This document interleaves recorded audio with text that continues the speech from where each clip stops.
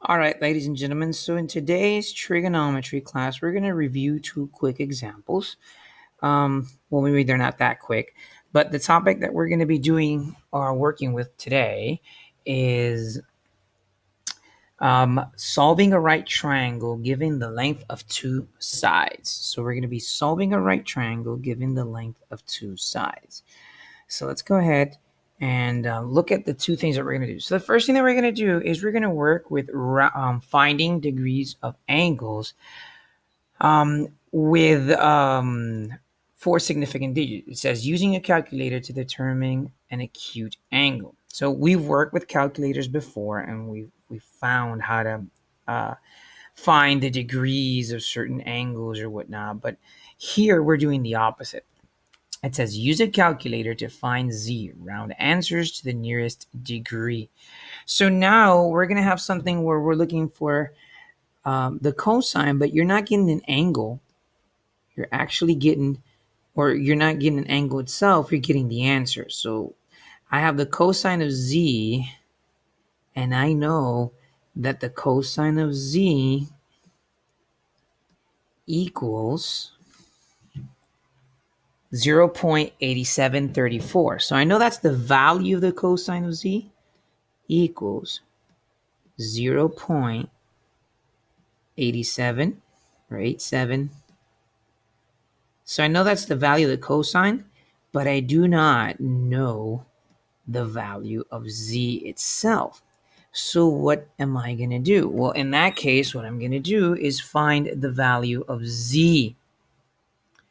So we're looking for Z. So how do I do that?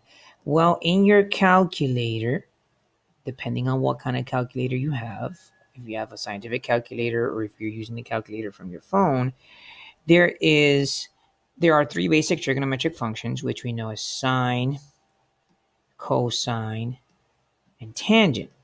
But if you look at your calculator, there's always a key that says shift or second, depending on what kind of calculator you have.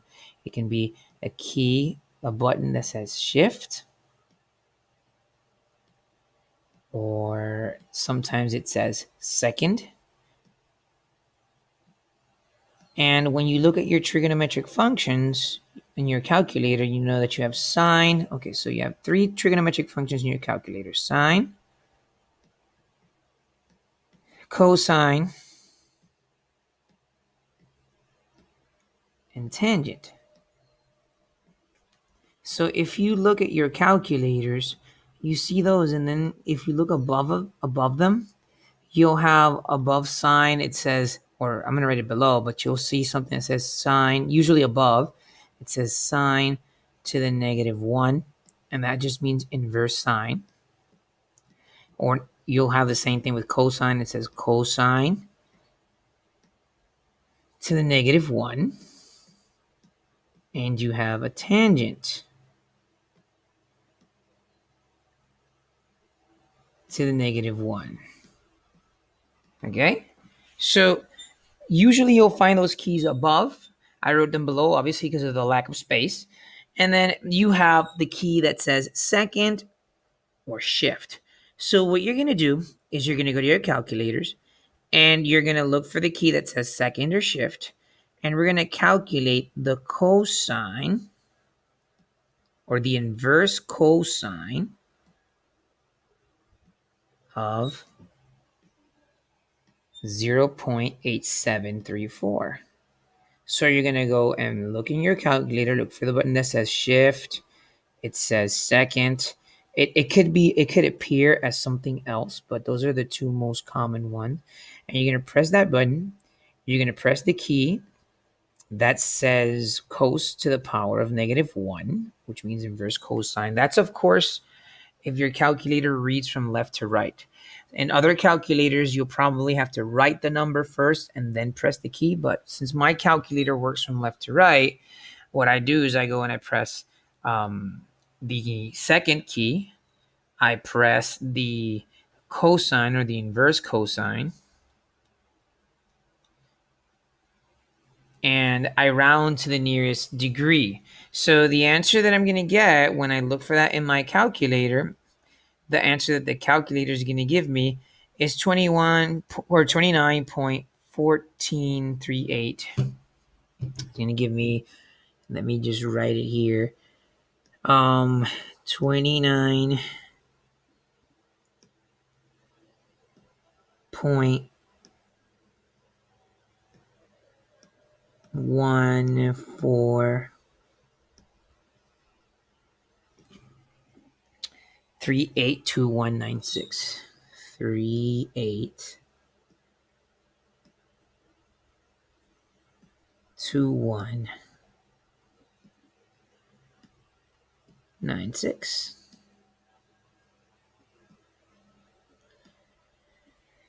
So the problem says to round to the nearest degree. So I'm just going to round this to 29 degrees. And I'm going to say that the cosine of z, or that z, is 29 degrees, or approximately 29 degrees. So z is 29 degrees, or approximately 29 degrees. And again, all I did was I took the number that they were giving me in the problem, which in this case was 0.8734. And then what you did was you went to your calculator. And if your calculator reads from left to right, then you would first press second or shift and the cosine key, and that's automatically going to give me the inverse cosine. Then you write the number 0.8734 and then what you do is you just press the equal sign. In some calculators, it's the other, it's the opposite. It's the other way around. You'll write 0.8734, then press the second, and in this case, the cosine key, and that'll give you your answer. Either way, you guys need a calculator to work with this. Okay, so let's do the second one. I'm going to go ahead and clear my board. And then example, the second part of the example is basically asking me to do the same thing, but in this time it's not the sine, the cosine, it's actually the tangent. So the problem is says the tangent of z, the tangent of z, the tangent of z equals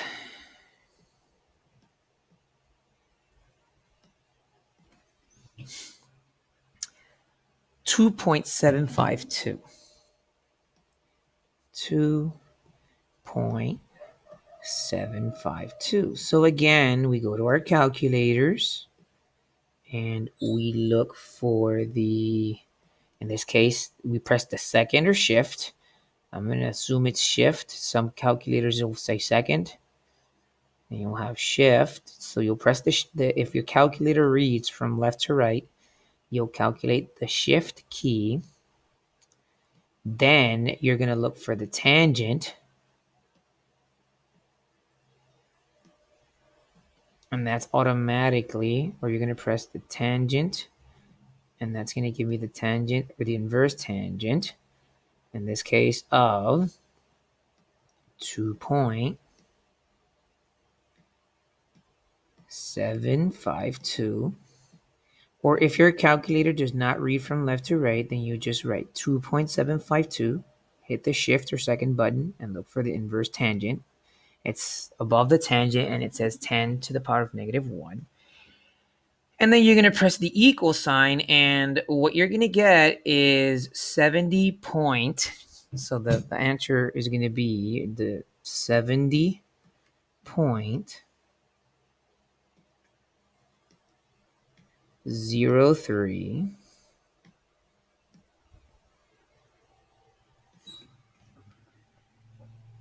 Zero two.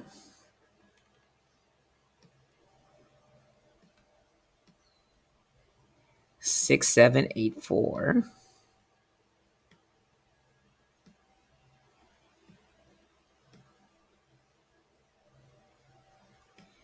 And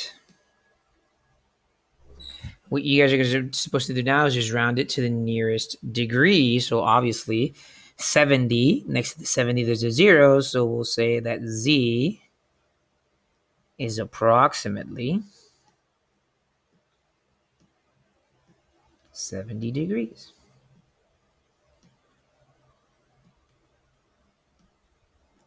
And that's it for that. So now we're going to look at the other example. And in the other example, what we're doing is actually calculating or solving a right triangle given two sides. Okay, so let's go ahead and erase this. This is example four. Now we're going to move on to example five of your textbook. And we have a right triangle that I'm going to try to draw to the best of my abilities. And the triangle, whoop, I was doing good and then I kind of messed it up here.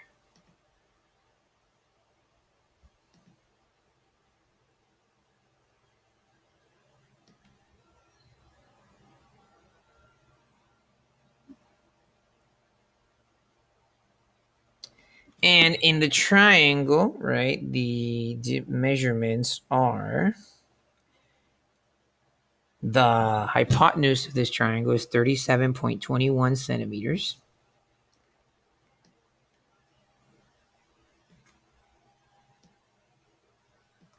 Point 21 centimeters.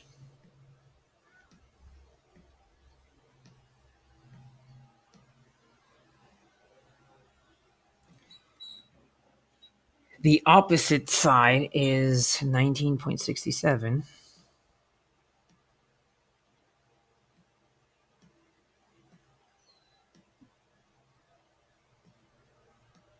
centimeters as well. I'm missing the value in this case of A. I know I have a 90 degree angle here because this is a right triangle. I'm missing A. I'm also missing the value of beta, which is down here.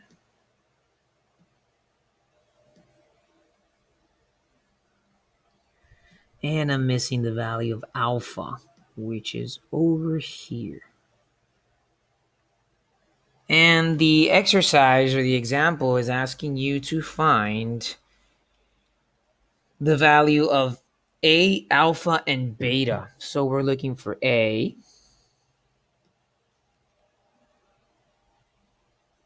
We're looking for alpha. And we're looking for beta.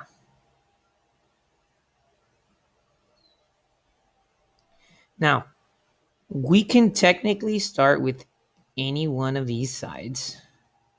Okay. We can um, find A by using the Pythagorean theorem. We can find alpha by using inverse trigonometric, or not by inverse trigonometric, excuse me, by using um, trigonometric functions. And beta we can use by simply just subtracting the difference of the angles. So to re- in reality, um, one thing that we also need to to take into account is the significant figures.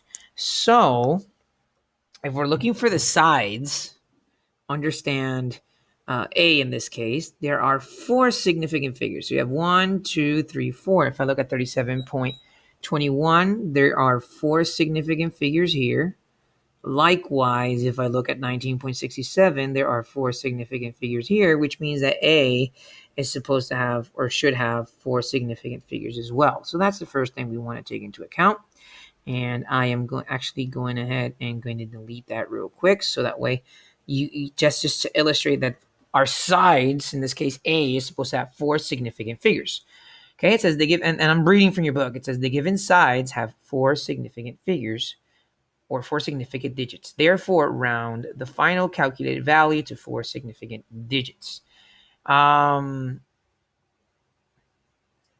eh, it says, um, and, and then the the degrees it says solve for alpha. It says the co- um. So the first thing I'm going to do is I'm going to solve for alpha. Mind you, that I could very easily solve for beta as well. But I'm following the steps in your book and we're solving for um we're solving for alpha. Now, what we're doing is we're rounding our sides to four significant digits and our angles to two significant digits. So if I'm looking for alpha, and I'm going to use red, alpha, which is right here, Mm, I'm going to use trigonometric functions. So I have alpha, or I'm looking for alpha, And I have this side, 19.67. So 19.67 is actually close to alpha. So we're going to use the cosine. So we're going to say the cosine of 19.67 divided by is going to equal 19.67 divided by 37.21. So 19.67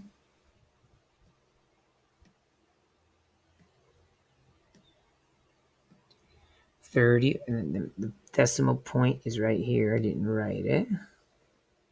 And then we're going to divide by the hypotenuse, which is 31 point, 37.21, excuse me. So we're going to divide 19.67 by 37.21. And that's going to give me the cosine of alpha, but it's not giving me alpha. So if I divide that, and, and, the problem is saying because there are four significant digits on the side, you want to round your answer to your final answer to four significant digits. So when I divide 19.67 by 0.21 in the calculator, I get that the cosine of alpha, the cosine of alpha is actually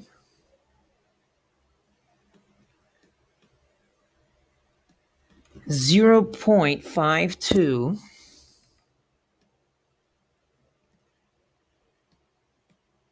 five two eight six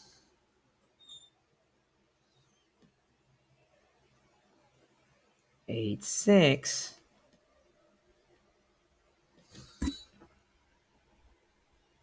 two one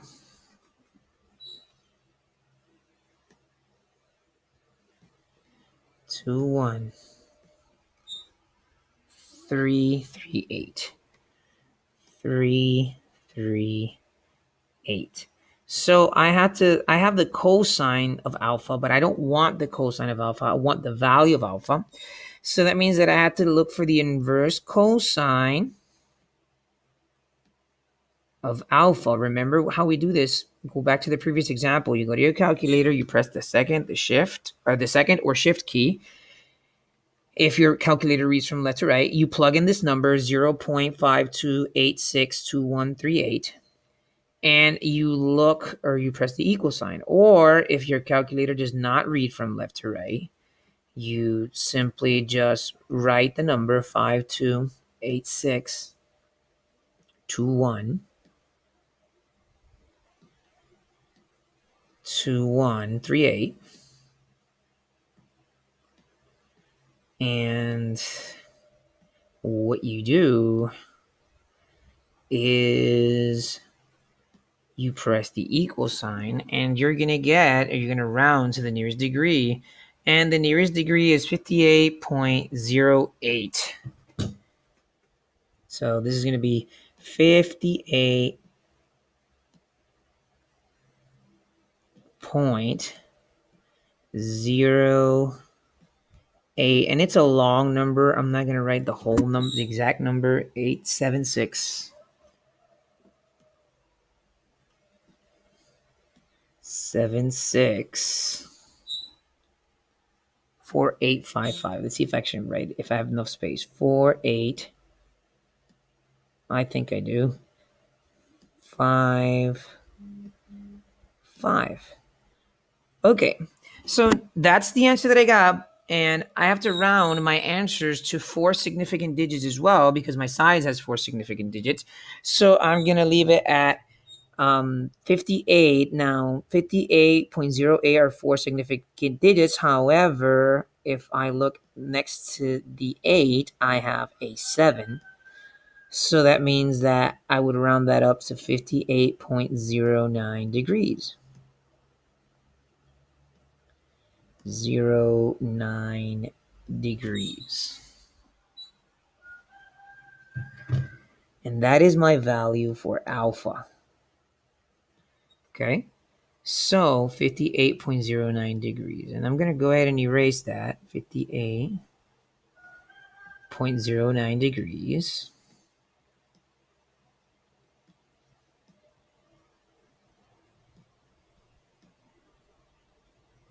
And now we're going to look for beta. Now, beta, or we're going to look for, I'm sorry, let me just switch this up because I just realized that I wrote the number in the wrong place. So give me one second here. And let's go back. So this is the value of alpha.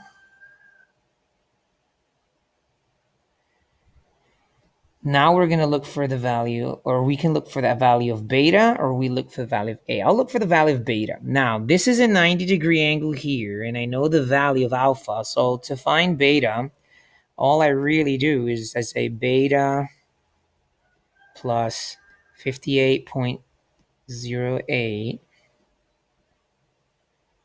Or you know what? Even simpler, just subtract. I'm not even going to complicate it. So we're going to say beta equals 90 degrees, 90 degrees minus the value of alpha, which is 58.09. So we're going to subtract that. Okay. You guys can use your calculators if you want to hurry up the process. And you're going to divide 90 by um, 58.09 and when you or not divide excuse me you're going to subtract that. This is a subtraction sign not a negative just in case. Make that bigger. So you're going to subtract 90 minus 58.09 and when you subtract that the answer that you get is 31.91 because remember we're rounding to four significant digits so we know that the value of beta is 31 31 point 91 degrees. And that is the value of beta. 31.91 degrees. So what we're going to do now is we're going to look for the value of A. And I'm actually going to go ahead and erase this side of the board and we'll use this side to find the value of A. If you have any questions on how I found the cosine of alpha, remember you guys can pause, rewind the video, and um, I will definitely, and you'll definitely get a chance to see how that was done again, right? So let me just erase this side because that way we'll find BA, excuse me, in this, in this case, and that will be the end of our uh, video lesson. So to find a, I can use the Pythagorean theorem because remember the Pythagorean theorem says a squared plus b squared equals c squared. So all I need to do is just kind of plug them in. So a squared is what I'm I'm looking for.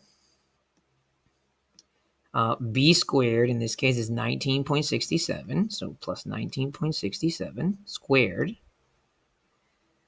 Always remember to write squared. Sometimes it happens where some people forget that you know this is elevated to the power of 2. So it's very important that you keep that in mind. So 19.67 squared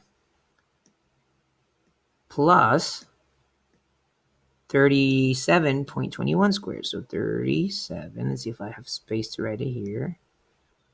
Point 21 squared. Now you can barely see this point. There you go, point 21 squared. So 37.21 squared. Okay, so a squared stays the same. I'm not looking for, I'm not going to do anything with it until the very end. And then you're going to write 19.67 squared. And you're going to look for that in your calculator. Um, so if you go to your calculator and you look for 19.67 squared,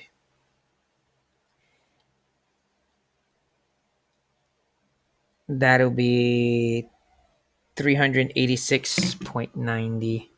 So let's see if I have space here. 386.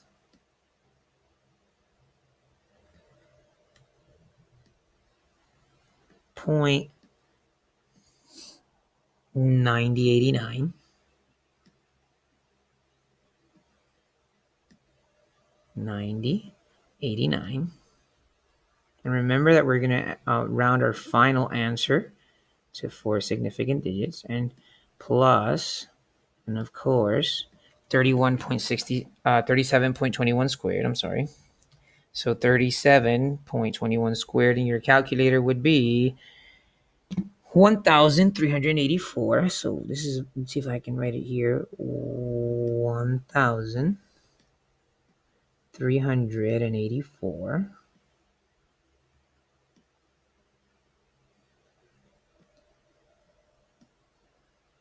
Thousand three hundred eighty-four point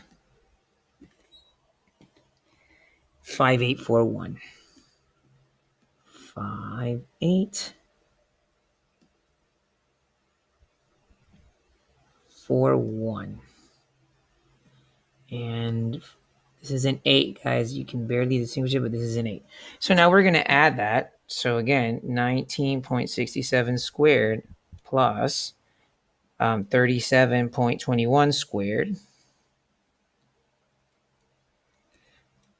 37.21 squared. And that equals 1,771. So a squared equals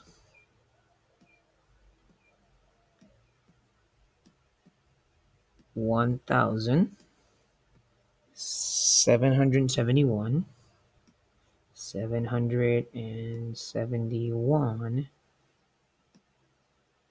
point four nine three. Four nine three and we're just going to find the square root. So I'm just going to double check, make sure everything is right.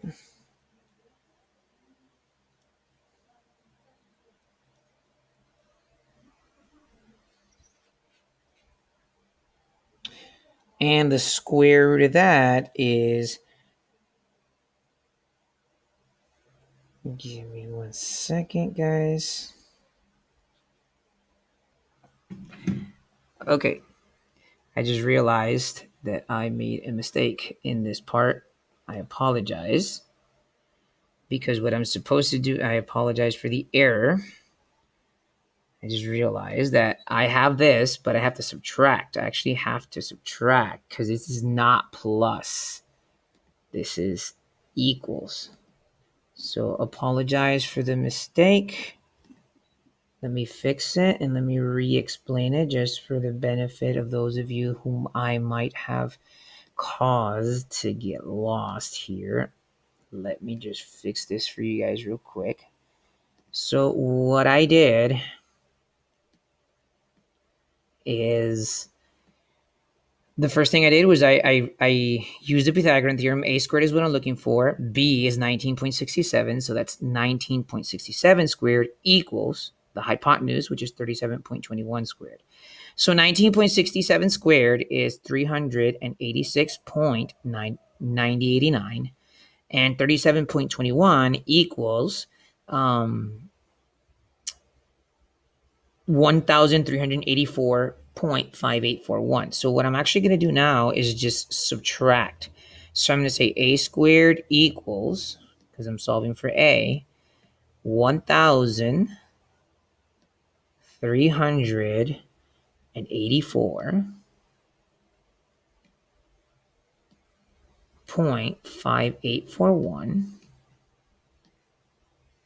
And again, I apologize for the mistake, ladies and gentlemen. 0.5841. And I'm going to subtract that two. 386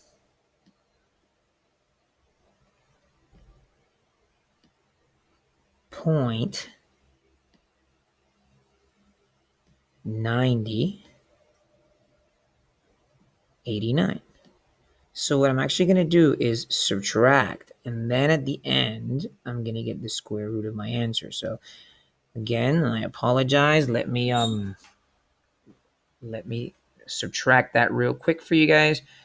So all I'm going to do is subtract, in this case, um, 37.21 squared, which equals 1,384.5841 minus 19.67 67 squared, which is 386.9089, and that equals um, 997.6752. So when I subtract this,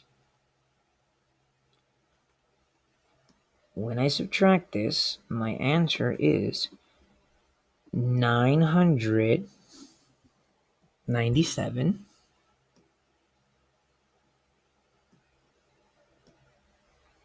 point six seven five two. Six seven five two.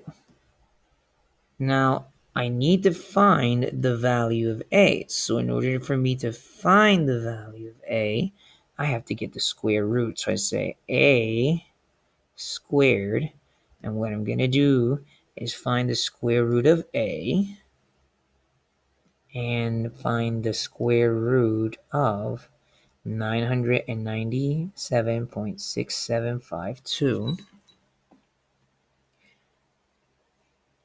And the square root of that is 31.59 approximately, because all I did was I approximated the value of approximated the value of to of the degrees to four significant digits. So that would be um, 31.59, guys. And that, ladies and gentlemen, is the end of this exercise. So let me review it to, with you guys one last time before I end the video, just to make sure that I was able to recuperate from the mistake that I almost made. So again, to find a, all we did was we wrote or we used the Pythagorean theorem, which is a squared plus b squared equals c squared, and we substituted them. I don't know the value of a squared. I do know that b is 19.67, so 19.67 squared, and I do know that c, which is my hypotenuse, is 37.21 um, uh, centimeters. So I write that as uh, 37.21 squared. Now, 19.67 squared equals 386.9089.